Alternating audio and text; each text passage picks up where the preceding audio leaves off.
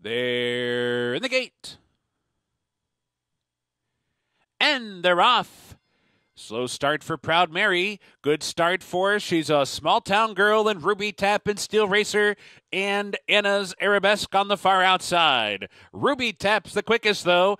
Builds the lead as they move up the back stretch. But here comes Anna's Arabesque to put some pressure on. And these two hook up to the far turn. Now they're four lengths ahead of She's a Small Town Girl who's tailed off five lengths behind now third. Proud Mary's racing in fourth. Steel Racer going the wrong way fifth. Sweet Carolina's in sixth. Gold Ticket down inside seventh as they round the far turn. Anna's Arabesque and Ruby Tap in a full out war past a quarter pole. Anna's Arabesque grabs a narrow lead. Ruby Tap has to respond and does. These two come off the turn together. And Anna's Arabesque grabs the lead right at the top of the stretch. Ruby Tap fights on from the inside second. Proud Mary trying to pick him up late. One furlong to go. Anna's Arabesque by two. Ruby Tap gives way. Proud Mary rallying. Time running out. Anna's Arabesque will get there.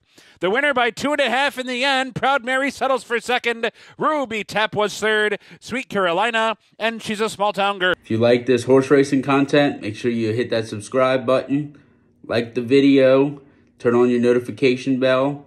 It would be greatly appreciated.